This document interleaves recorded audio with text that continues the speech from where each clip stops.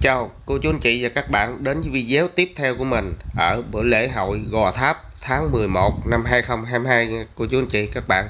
Bây giờ là 8 giờ tối, tức là 20 giờ các bạn. Này là mấy hàng trăm quan các bạn. Mấy võ tướng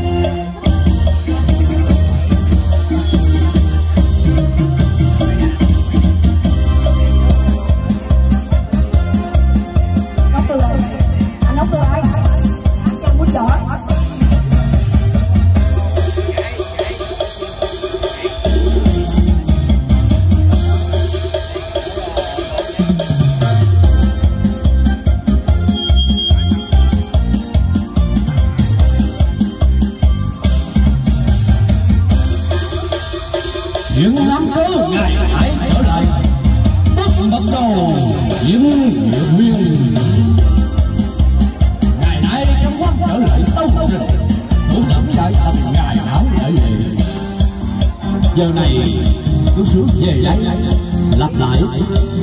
Chiêu thiệt thiên hoa quân kỳ.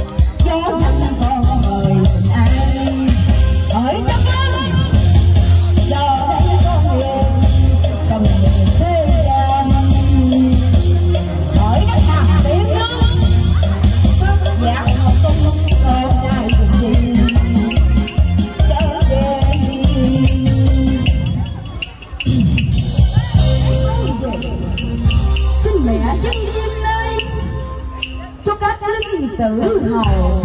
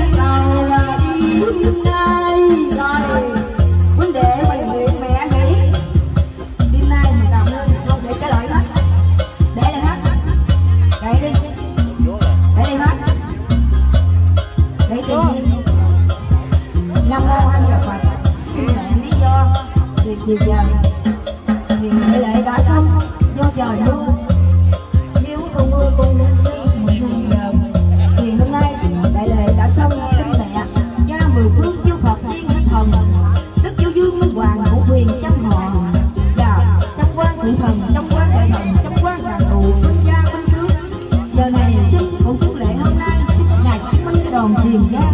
Nam mô a di đà phật. Rồi. Mình tiếp tục luôn